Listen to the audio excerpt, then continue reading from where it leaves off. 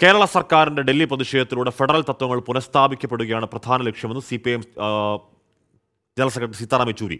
കേന്ദ്രത്തിന്റെ ഭാഗത്തുനിന്നും ഉണ്ടാകുന്നത് കടുത്ത ലംഘനങ്ങളാണ്. ഇന്ത്യ മുന്നണിയിലെ ഭൂരിഭാഗം പാർട്ടികളും പ്രതിഷേധത്തിൽ പങ്കെടുക്കുമെന്നും സീതാറാം യെച്ചൂരി ട്വന്റി ഫോറിനോട് പറഞ്ഞു. ഫെബ്രുവരി എട്ടിന് നടക്കുന്ന ഡൽഹിയിൽ നടക്കുന്ന കേരള സർക്കാരിന്റെ പ്രതിഷേധത്തിന് നേതൃത്വം നൽകുന്ന C P I M general secretary Sitaram Yechury നമ്മളോടൊപ്പം ചേരുകയാണ്. Comrade February eight Delhi is going to see a historical protest by the Kerala government and what you are leading the protest and what are and the national level coordination for the protest what is the main demand well the main demand they should restore your principle of federalism as contained in the Constitution.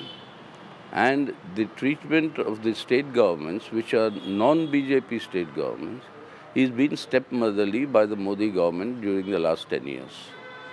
The worst case is that what has been recommended by the Finance Commission, even that is not being devolved to the states.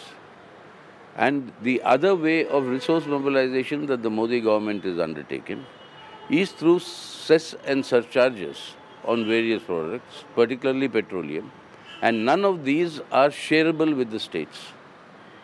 And, and above all this, they have put now certain limits on the borrowing that the state governments can make, so that they are actually squeezing the state governments. You are coordinating the uh, protest national level, uh, have invited many national leaders, national parties, uh, and uh, who all will participate in it? Well, you see, the, first of all, remember, this is a program organized by this Kerala state government.